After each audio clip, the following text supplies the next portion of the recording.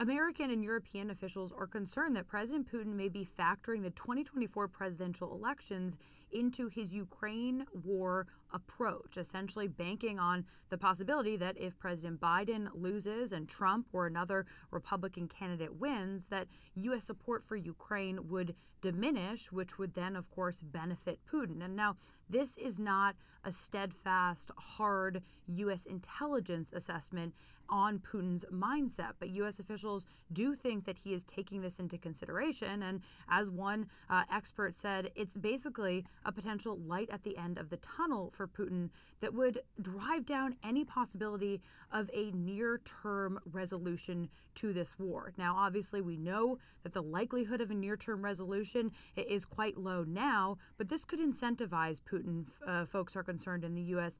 and Europe, to drag on the war through November of next year. Kylie Atwood, CNN, Washington.